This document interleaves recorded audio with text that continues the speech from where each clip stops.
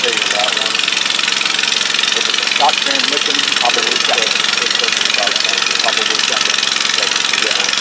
Um, you can you can get a one tooth bigger pinion, the top pinion where it goes in the transmission. Yeah. The 12, the 12 tooth one stock. You can get a 13. That'll see the transmission of one gear, which is about